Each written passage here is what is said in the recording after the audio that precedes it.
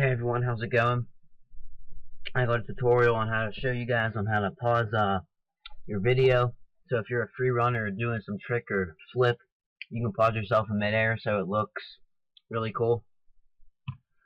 No, it's not uh, clicking the snapshots. It's much better way than clicking uh, screenshots. It doesn't require much as work to make it like look perfect. It's already, I'll show you right now.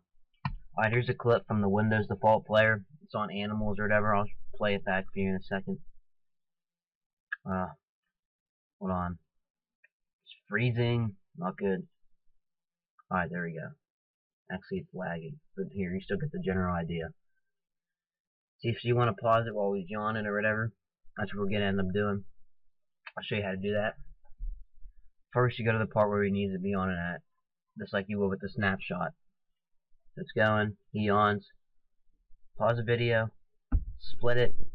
Click this a few times. There you go. And now just hit left on your key. See? Split that. Get out of the way a bit. Here's your clip. You want to make this a sub clip. Hit create. Hit right click. Hit create sub clip. Expand it out a bit.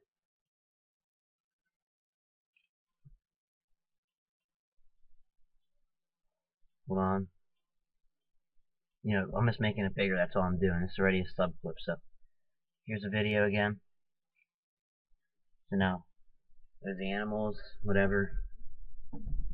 Couldn't find another example, but yeah, here's here we go. The koala pauses, perfect quality. Then he resumes right where we left off, unlike screenshots where you can make an error really easy. I did screenshots before I knew how to do this, and then as soon as I found out how to do this, I wanted to tell everyone else. Alright, but yeah, that's the end of the video. Hope you guys understood it. Any questions, message me, and I'll see you guys later.